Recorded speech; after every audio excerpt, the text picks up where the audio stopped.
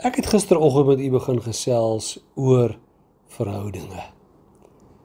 Het u geweet dat daar een groot verskil is tussen die Christelike godsdiens en ander godsdienste?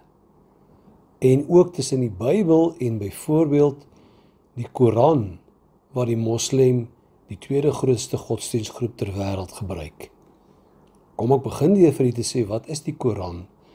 Die Koran is 'n wetboek, 'n voorskriftelike boek wat een na die ander presies 'n 100% vir die volgelinge van Mohammed voorskryf wat hulle mag doen en wat hulle nie mag doen nie. Wanneer hulle sekere dinge moet doen en wanneer hulle sekere dinge nie mag doen nie. Dis absoluut wetties.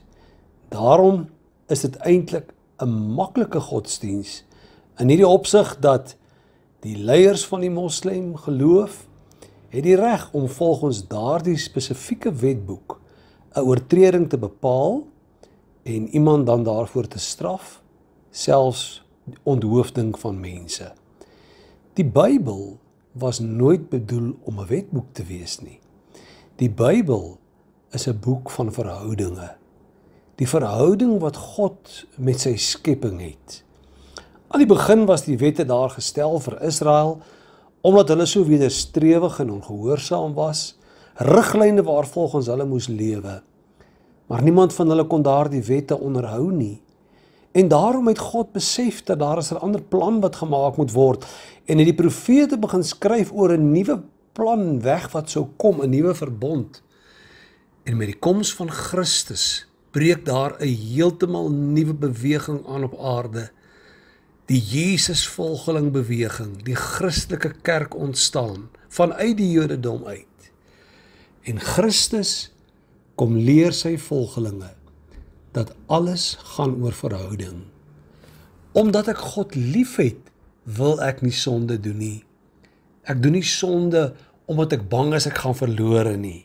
Ek wil nie sondig nie want ek staan in verhouding met God. Hy is my Vader en ek is sy kind. Dit is die verhouding waarin ek tot hom staan. Daarom is dit baie belangrik vir ons om te weet dat elke verhouding het sy dit is met mekaar of met ander mense, daar is eienskappe in 'n verhouding. In die eerste plek is daar 'n doel vir hierdie verhouding. Natuurlik my verhouding is om God lief te hê met hele hart en siel met hierdie verwagting dat ek my lewe ten beste vir hom kan leef op aarde maar ook eenmaal die ewige lewe kan beerwe. En vir elke verhouding om te slaag moet daar toewyding wees. Daar moet aanvaarding wees. Daar moet vertroue wees. Daar moet kommunikasie wees. 'n Mens moet kan onderhandel, met mekaar gesels. Daar moet ook oorgawe wees waar jy jouself heeltemal oorgee. Om 'n verhouding suksesvol te maak, moet daar ook vergifnis wees. In verhoudinge kry elkeen ook 'n verantwoordelikheid. En verhouding bied aan mekaar ondersteuning. Hoor mooi, skryf die Bybelskrywer dit vir ons hier in Spreuke 27 vers 17. Eyster slyp eyster en so slyp die een mens die persoon van die ander. Ons staan in verhouding met mekaar.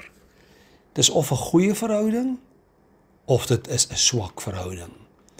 Ek wil net gister sê gisteroggend het ek gesê dat die eerste punt om goeie verhoudinge te versterk met die Here, selfs met ons gemeentelede in ons gesinslewe, by ons werk, is daar sal soms stryd wees en verskille.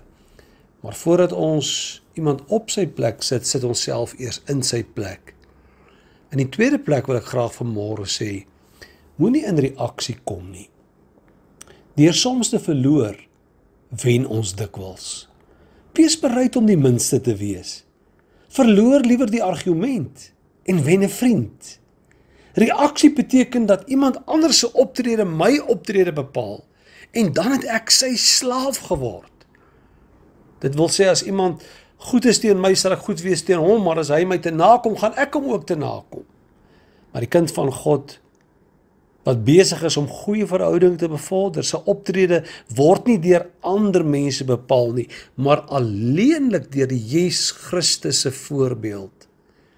Hy het nooit gereageer nie. Gaan lees maar. Wanneer op hom gespieg en geslaan en beledig het, het hy sy mond nie oopgemaak nie. Hulle homself geklap, maar hy het die ander wang gedraai. Hulle het hom beskuldig, maar hy het homself nie probeer verdedig nie, want u sien, die waarheid hoef 'n mens nie te verdedig nie. Moenie julle wreek nie, sê die Here, want die wraak kom my toe. Ons reageer nie, maar 'n gelowige ag gee. Dit beteken ons tree op. Ons neem die inisiatief op grond van God se woord. Onthou altyd, die Bybel sê 'n sagte antwoord keer die grimmigheid af en kan 'n verhouding maklik red.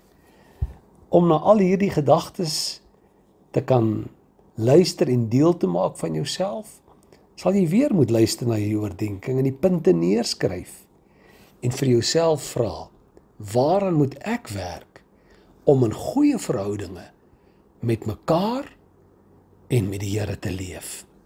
Vader, baie dankie vir nog 'n dag waardeur U ons gaan dra. 'n Dag waarin ons ons gesindheid getoets gaan word. Of ons in so 'n verhouding met God staan, so innig en verdiep dat niks wat hier rondom ons is ons verhouding met God kan vertroebel deurdat ons skielik 'n ander mens word en praat en optree asof ons glad nie die Here ken nie. Gee ons daartoe die genade in Jesus mooi naam. Amen. Mag u 'n wonderlike dag beleef.